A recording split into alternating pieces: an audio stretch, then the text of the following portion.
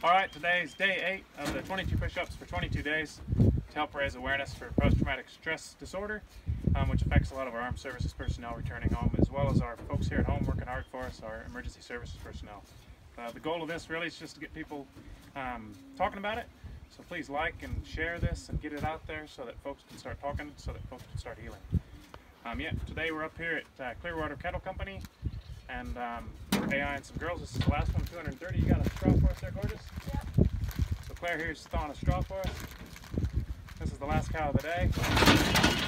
Pretty good. We got a quiet one. So the semen's uh, stored in that liquid nitrogen container at a very cold temperature. It's thawed. Five seconds in the bath.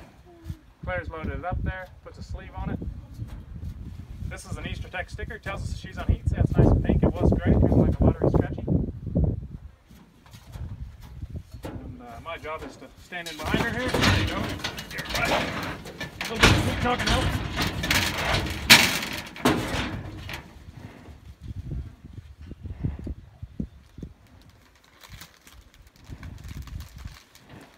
I'm just reaching inside, locating her cervix, and then I'm guiding her cervix over the uh, sleeve on this AI gun,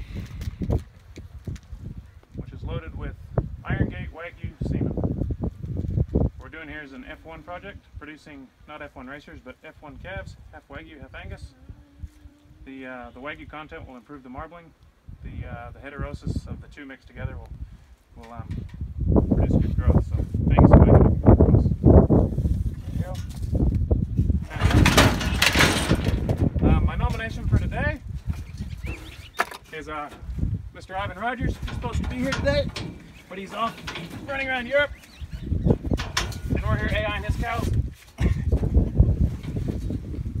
So Evan, you've got to pick up your game. You're going to be over there seeing some pretty places. You need to show us these pretty places whilst doing 22 push-ups for the next 22 days.